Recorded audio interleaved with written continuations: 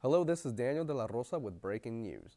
Authorities have been circulating photos of two men spotted carrying bags near the Boston bombing sites. The men appear to be chatting with each other. One man had a black bag and the other a blue duffel bag. Meanwhile, officials have identified two potential suspects who were captured on surveillance video. Officials are not clear if the men in the law enforcement photos are the same men in the surveillance videos. Please stay tuned for more details at 8.